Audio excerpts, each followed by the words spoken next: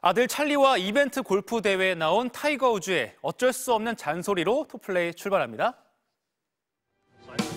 아들 찰리와 가족 이벤트 골프 대회에 4년 연속 출전하고 있는 타이거 우즈. 1라운드를 앞두고 가진 연습 라운드에서 절묘한 어프로치 샷과 아이언 샷을 뽐냅니다. 그리곤 아들 찰리의 버디 퍼팅 그대로 들어갑니다.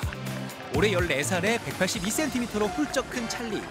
그런데 아버지는 이런 아들한테 불만이 있습니다. I, I just don't like the fact he stares at his phone all the time. put, put your phone away and then just look around. 잔소리하는 아버지의 심정은 다 똑같은 것 같죠? 다음은 스키 월드컵에서 나온 공중묘기입니다. 엄청난 높이로 도약하는 이 선수.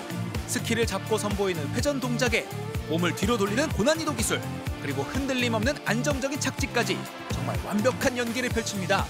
결과는 97.00점으로 금메달. 마음 같아선 100점을 줘도 됐을 것 같네요. 지금까지 토플레이였습니다.